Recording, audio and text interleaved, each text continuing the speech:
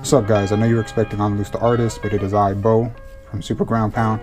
Um, I just wanted to give you guys an update. He's been really busy working on some big things that he's going to show you guys soon, but we wanted to give you an update on the Deadpool controller that we collabed on. Um, the winner was Billy and Roland. I announced it on my channel. Um, you can click right here and go check that video out.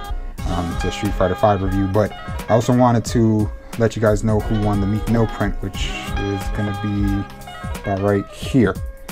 So this print, um, we picked five winners randomly. It was Mr. ATO Breezy, Hippie 1259, Jocelyn Lara, uh, JD Hernandez, and Trill Savage. So you five are going to be getting a print. We're going to send you a message and get them shipped out to you.